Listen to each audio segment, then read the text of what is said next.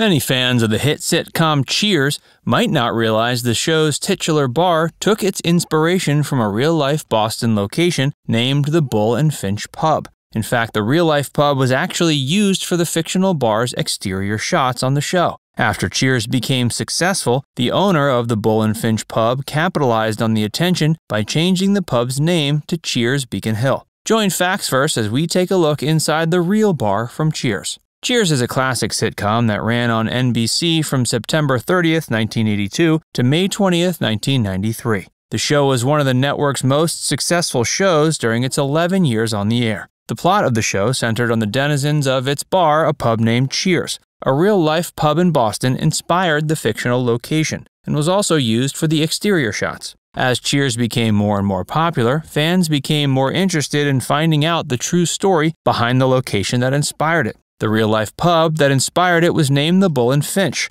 However, the bar's name was later changed to Cheers Beacon Hill to better capitalize on the success of the show. The Bull and Finch pub was founded in Boston in 1969. The pub was a huge success soon after opening, with people from all over the country stopping in for a visit while in Boston. The Bull and Finch pub made an impression on the creators of Cheers, and they used the location as an inspiration when crafting their own fictional pub. Although the interiors of the Bull and Finch pub and the bar on Cheers may not be identical, the real life exterior provides the perfect face for both. In reality, the interior of the Bull and Finch pub is a good deal bigger than the cozy bar featured on Cheers. But the owner opened up another location after the success of Cheers that more closely resembled the show's bar. In 2001, the owner of the original Bull and Finch pub, which was now named Cheers Beacon Hill, the second location opened up in August of 2001. It was dubbed Cheers Faneuil Hall, named after the area it was located in.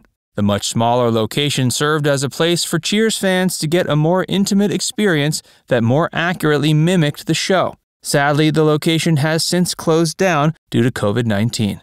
The original location is still open. Many fans were devastated when Cheers Faneuil Hall announced it was closing. Sadly, many other restaurants and businesses around the world were doomed to a similar fate as a result of the virus.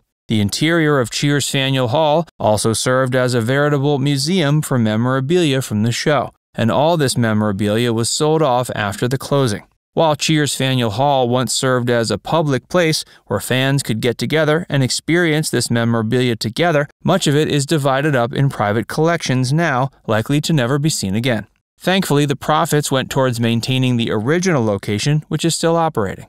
In 2009, the Cheers Beacon Hill location made news when it made the decision to lay off a longtime bartender named Eddie Doyle. Eddie had been bartending there for over three decades, having started back when it was called the Bull and Finch. He was also one of the co founders of the charity Cheers for Children, which used the bar's fame as a catalyst to raise money for children in need. Tom Kershaw, the owner of Cheers Beacon Hill, said they had to let Eddie go due to restrictions put upon his budget by the recession. To commemorate Eddie after the loss of his longtime job, the city of Boston decided to name an intersection after him. Eddie Doyle Square was later unveiled to the public, with a ceremony headed by then Boston Transportation Commissioner Thomas Tinlin. Hey, if you're enjoying this video so far, be sure to give it a like and subscribe to Facts Verse for more. The fictional bar that served as the location of Cheers was located in Boston, just like the real life pub that served as its inspiration. Cheers followed a group of Bostonians who all meet up at the bar to drink. As the theme song of the show suggests, all of the customers in the bar knew each other's names, and the bar served as a second home for them. Because of this, they were like family. But that doesn't mean they all got along.